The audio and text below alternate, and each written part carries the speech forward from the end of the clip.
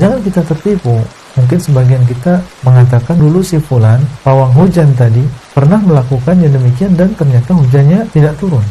Kita harus bedakan antara hujannya tidak turun dengan sebab pawang hujan tadi atau hujannya tidak turun karena takdir Allah Azza wa bahwasanya hujan tidak turun bertepatan dengan takdir Allah. Memang Allah SWT mentakdirkan hari itu tidak hujan. Bukan karena pawang hujan tadi yang sakti. Dia adalah makhluk.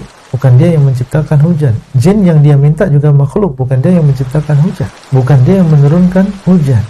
Tidak hujannya hari tersebut bertepatan dengan apa yang dia lakukan berupa ritual. Bukan karena sebab ritual tadi kemudian Allah SWT tidak menurunkan hujan.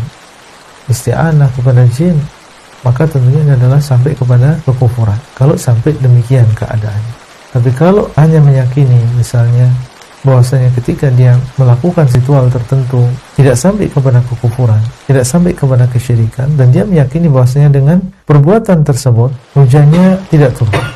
Dan dia meyakini bahwasanya Allah SWT dialah yang menurunkan hujan dan menahan hujan.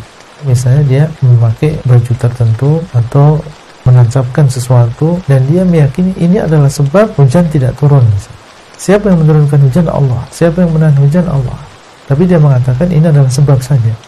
Kalau demikian keadaannya berarti dia menjadikan sesuatu yang bukan sebab sebagai sebab dan itu adalah kesyirikan yang kecil.